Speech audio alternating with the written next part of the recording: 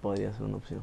Todo, todo puede pasar en política. Finalmente, Martín, hemos hablado de casi todas las bancadas. El Fujimorismo. El Fujimorismo hemos hablado mucho toda esta semana de albertistas, quequistas, los nuevos, los invitados.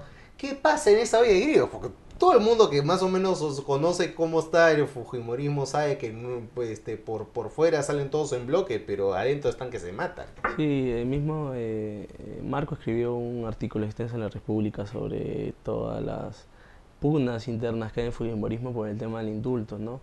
Hoy día han salido todos encrispados por las declaraciones de Mario Vargas Llosa. Le, le, han dicho su vida, o sea, pero uno, uno que le dice que de noble solamente tiene el, título de marqués. Eh, Tuvino que le dijo que entre un anciano no puede... No puede rajar de otro anciano, este que Cecilia Chacón diciendo quién es Vargas Llosa, no es nadie. Giancarlo Bakeli, ¿eh? el aquelito que no, no habla, generalmente esos temas también saliendo a pecharlo. pero ahí eh, eh, tú te das cuenta de una cosa, ¿no? De que pueden haber pugnas internas dentro del Fujimorismo para la hora de, tener que defender a, a Fujimori. A, Fujimori o lo mismo de la bancada salen todos, todos en bloque, ¿no? Ahora, eh, sí, cierto, hay muchas pugnas internas y que se notan en temas mínimos que quizás no, no tienen mucha eh, digamos, mucha exposición, pero por ejemplo, hace poco se, se, se cayó una, una interpelación que iban, iban a presentar contra el canciller y fue porque el mismo Fujimori retiraron las la firmas, el mismo Tubino retiró sus firmas. Tubino dijo, dijo, Tubino dijo públicamente que él no se iba a prestar a un juego de desestabilizar al canciller en Temelaya. Y, y sé que eh, había mucho malestar con Tubino por, por, esa, por, eh, por ese tema, porque ellos querían... Eh, eh, digamos, ellos tienen esa, esa cosa de, de, querer... Eh, mira, se querían eh, interpelar al canciller, ahora este, descansé cosas de la Comisión de Relaciones Exteriores, y ¿qué pasa? Ahí al corta sube, Guguliza sube vicepresidenta. Porque Vitocho, o sea, Vitocho ocupa el, cupo que tiene Javier, Javier en la comisión, pero Vitocho no ha querido presidirla. Eso, eso, sí, eso tú lo, lo, eh, mencionaste. él, él, él, ha desistido, él no, él no ha querido presidirlo eh, porque dice que no quiere hacer muchos pavientos. Entonces hay que pasar, corta, sube a presidenta y Cucuya sube a vicepresidenta. Entonces tienen cierta exposición. Los fujimoristas son bien hábiles para querer ocupar bastante protagonismo en las comisiones. Desde, la, más, desde la más grande como puede ser la Comisión de Relaciones Exteriores hasta una más pequeña como la Mesa de Mujeres Parlamentarias que ahorita Cuculiza está eh, el último pleno, en el día de la supresión del Consejo, estuvo recogiendo firmas de las mujeres parlamentarias para eh, pedirle a la, actual presidenta, que es Ana María Solórzano, eh, que convoque elecciones para que asuma una nueva presidenta porque ella quiere asumirlo.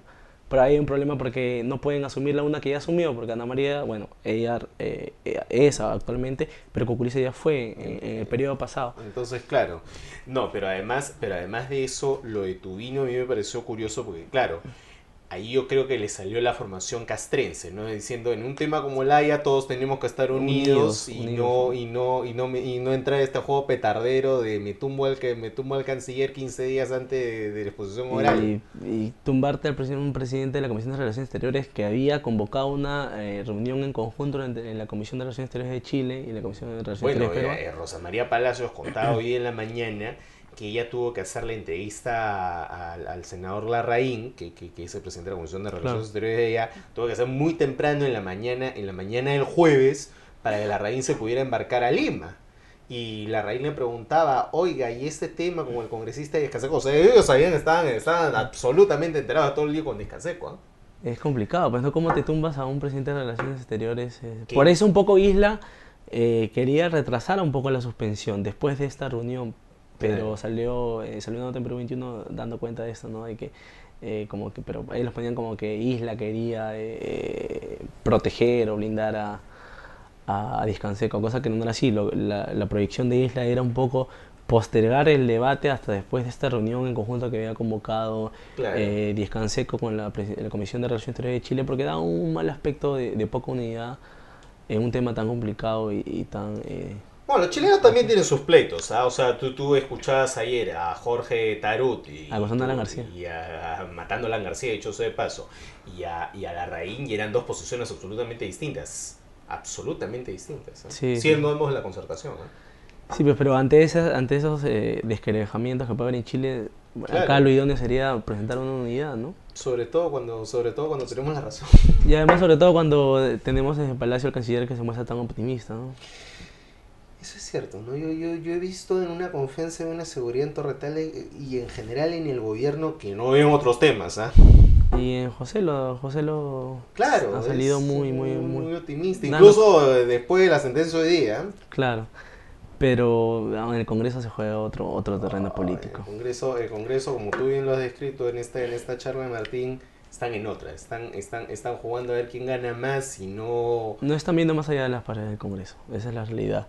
Eh, yo siempre defiendo y muchas veces me peleo defendiendo al primer Estado como institución, que es el Congreso, pero no puedo decir defender al mismo raza a los, a los partidos, a los congresistas que se juegan muchas veces intereses propios. Claro, o sea, no hay que otoronguearlos, pero tampoco, tampoco no se puede ocultar lo que es evidente. Sí, sí, dentro de... es una olla de grillos adentro.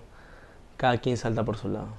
Ok, Martín, gracias por venir. No, no te preocupes. Un gusto estar acá. Listo, volvemos en un minuto con el programa.